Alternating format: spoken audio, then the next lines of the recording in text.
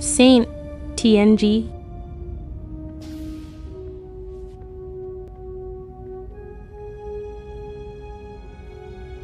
Oh my god. Then you can identify that object, Mr. Picard. Professor Galen. Computer, lights up.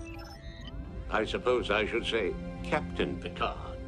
The professor contacted me from his shuttle about an hour ago. He suggested that we surprise you. To clarify, I insisted, and your first officer was good enough to accommodate me. I trust I'm not being overly presumptuous.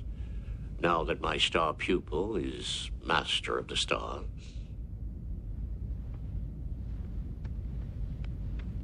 No one could be more welcome on the Enterprise.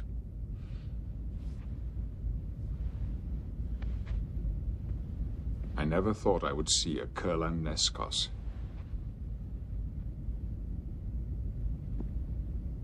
Fifth Dynasty.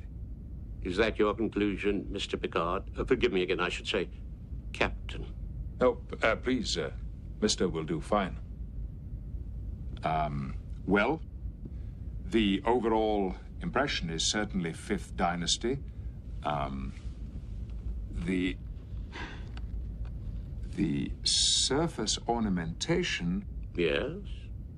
green polychrome over the eyes, and the eyes themselves closed.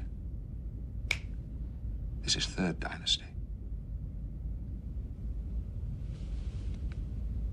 From the workshop of the Master of Tarquin Hill. Well done.